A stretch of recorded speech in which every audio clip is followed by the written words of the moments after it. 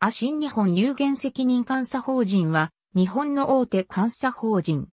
四大会計事務所、アーンストヤングの日本における統括法人はジャパンに属する。いわゆる四大監査法人の一つ。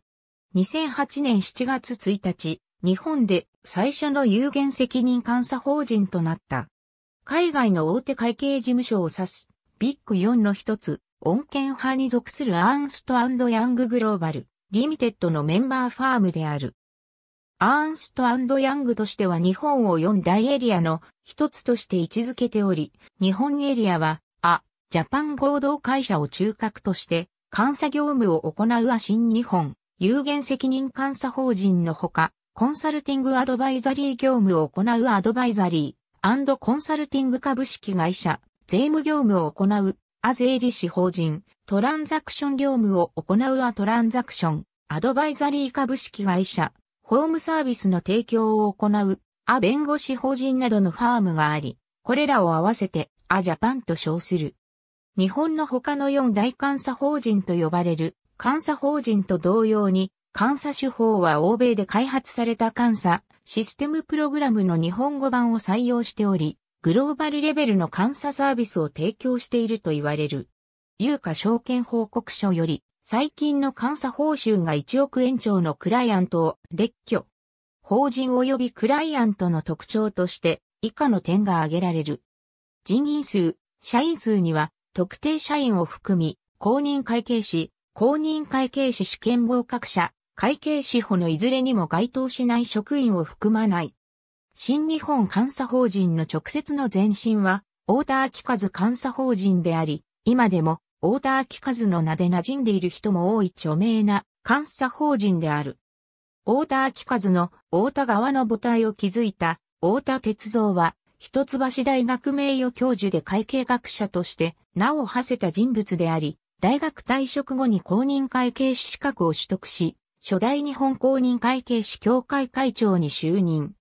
当時まだ日本に根付いていなかったアメリカ合衆国の公認会計士制度の普及を図り、現在の会計監査システムの基礎を作り上げた。業界内では会計学の礎ともされており、採用特殊性高等3事件を機に組織的監査の必要性が唱えられると、1967年1月19日には、監査法人第1号として、監査法人、大田鉄道事務所を設立している。設立当初の規模は、社員8名、公認会計士有資格者12名であった。その翌年には当初、青木監査法人や監査法人中央会計事務所といった全国規模の監査法人が設立されているが、大田鉄道事務所も同年11月に全国規模の法人とするため拡充を行っており、設立3年後の1970年3月末には、社員36名、使用人88名クライアント数106社の法人となっている。海外提携先は当時、ビッグ8と呼ばれていた会計事務所の一角、アーンストウィニーであり、日本に直接進出せず、提携方式を取り太田鉄道事務所へ部門吸収されている。一方、太田明和の昭和側である昭和監査法人は富島和夫によって1969年に設立された法人であるが、前身法人である監査法人、富島会計事務所を解散し新たな参加者を加えて再設立したものであり、実質的には全国で3番目の設立である。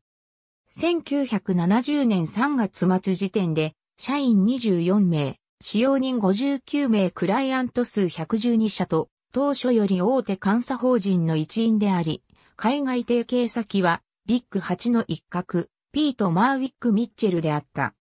大田と昭和の両者は、旧校舎民営化に橋を発する1980年代、半ばの監査法人再編の動きの中合併を決めた。朝日神話に次ぐ2例目の大型合併となり、とりわけ大手法人同士の合併は初となった。合併時の規模は総人員数1269名、顧客数1260社で当時国内最大であったが、翌年の当初、青木監査法人と監査法人、三和事務所の合併によって間もなく、国内最大の地位を明け渡すことになる。なお、大田と昭和は前日の通り異なる海外事務所と提携していたが、両社ともに提携関係を維持する方針とした。この二重提携は2003年まで続くこととなる。1989年にはメインの提携先であったアーンストウィニーがビッグ8の一角であったアーサー・ヤングを救済合併し、アーンストヤングとなった。立場の弱い側に追いやられたアーサー・ヤングと提携していた大手の監査法人朝日、神話会計者は、この合併の影響で国際業務に著しい不利益を被ることとなったため、打開策として大田明和と朝日神話の合併が水面下で検討された。当時朝日神話は約290社、大田明和は約260社の上場企業をクライアントとしており、両社が合併すると当時最大規模であった中央振興監査法人の約1.6倍の規模となる見込みであった。しかし許認可権を持つ大蔵省は監査業界の河川化に難色を示しこれを承認せず、1991年に断念へと至った。結局、朝日神話は1993年、アーンストヤングとの提携を解消し、アーサー・アンダーセンと新たに提携することとなった。1985年10月、大田と昭和の合併と同時に3つの中堅監査法人の合併報道が世間の注目を浴びた。いずれも最初期に設立された法人であり、またいずれも実質的に一つの企業グループを監査するための法人であった。つまり、監査法人第一監査事務所は、第一管銀グループを、日清監査法人は、松下グループを、武蔵監査法人は、日立グループを、それぞれほぼ専属で監査していた。これらは、海外提携先が、ピート・マーウィック・ミッチェルであった点も共通しており、企業グループの拡大や国際業務、IT 化に対応するため、またスケールメリット享受のため大田機数合併の翌年に合併を決め、センチュリー監査法人となった。さらに、翌1987年には、北海道の企業に強い栄光監査法人を吸収。常勤公認会計指数277名、クライアント数627社、業務収入40億円という他の大手法人に被験する規模まで成長し、報道等でも第五勢力として扱われるようになった。スケールと地盤を獲得した流れで、国鉄民営化に際しては、北海道旅客鉄道をクライアントとして獲得している。1989年、海外提携先のピート・マーウィック・ミッチェルはビッグ8に次ぐヨーロッパ地盤の会計事務所、クラインベルト・メイン・ゲルデラーと合併し KPMG となる。これに合わせて、翌年にはピート・マーウィック・ミッチェルが国内提携のため設立した日本法人の港監査法人を吸収、国外への業務拡大の弾みとなった。海外の会計事務所はしばらく6、大会計事務所体制で落ち着いていたが、1997年9月になり、そのうちのプライスウォーターハウスとクーパースライブランドの合併計画が報じられた。これに触発される形で、翌10月20日には、提携先であった、あと KPMG の合併計画が急浮上、正式決定までなされた。前者については、国内でも中央監査法人と青山監査法人の合併検討が直ちに始められた。また結果として、米国、欧州での合併認可を取り付け1998年に2つの会計事務所は合併、プライスウーターハウスクーパースとなる。これに続き国内でも一度は延期されたものの2000年に中央と青山は合併を決め中央青山監査法人となった。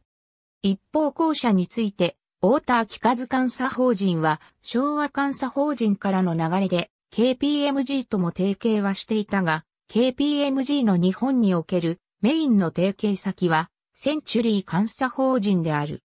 ここに大田明和とセンチュリーの合併交渉が開始され、期日を1998年7月1日に据えたものの、あと KPMG の合併は同年初頭に早くも破談へ至った。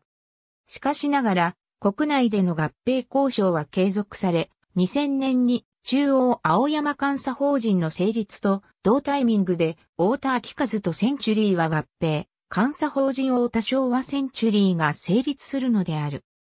両社の合併契約締結がスムーズに進行した背景として、国内において大手金融機関をはじめ、クライアント同士の大型合併が当時相次いでいたこと、特に富士銀行、第一官業銀行、日本工業銀行の産業合併により監査人が絞られ、各法人にとって重大な影響をもたらすことが懸念されていたことがあった。新たに設立されるメガバンクをめぐり3法人間での駆け引きが行われ、大田明和とセンチュリーはメガバンクつなぎ止めのために兼ねて、より進められていた合併交渉が有利に働くとみて、グローバルファームの合併破談に反して積極的な動きを見せた。これが功を奏し、メガバンクは、大田明和とセンチュリーの合併後の監査法人に残ることとなった。この合併によって、KPMG の提携先は、監査法人大田昭和センチュリーのみとなったが、法人の主軸は、大田明和の側にあり、メイン提携先はであったため、海外関連業務等もあが、主導となり、KPMG は日本での業務拡大に支障をきたすこととなった。一方、同時期に発生したエンロン事件により、同社を担当していたアーサー・アンダーセンが解散に追い込まれ、提携していた朝日監査法人も新たな提携先を探す必要性に迫られることとなった。ここに、両者の利害関係は一致し、またアンダーセンが KPMG と監査部門の身売り交渉を開始したこともあり、朝日は KPMG を提携先に選定。それにこうする形で KPMG 部門の多くが新日本監査法人から切り離され、あずさ監査法人として独立し朝日と合併した。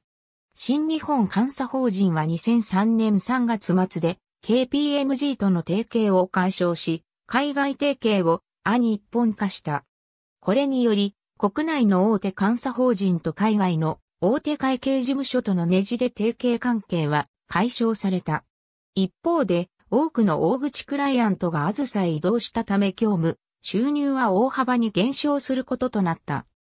しかしその4年後、2007年に解散に追い込まれたミスズ監査法人のうち、東京事務所の会計士の大半がクライアントと共に新日本へ移ったため、業務収入は1.5倍へ一転して大幅増加することとなり、国内最大規模の監査法人となった。この際に、東松やあずさは、人員やクライアントの誘致へ向け一定の働きかけを行ったのに対し、新日本は当時の公認会計士協会会長、藤沼明の出身であった都合上特段の働きかけを行わなかったが、ミスズの会計士の多くは自発的に新日本へ移ることを選択した。ありがとうございます。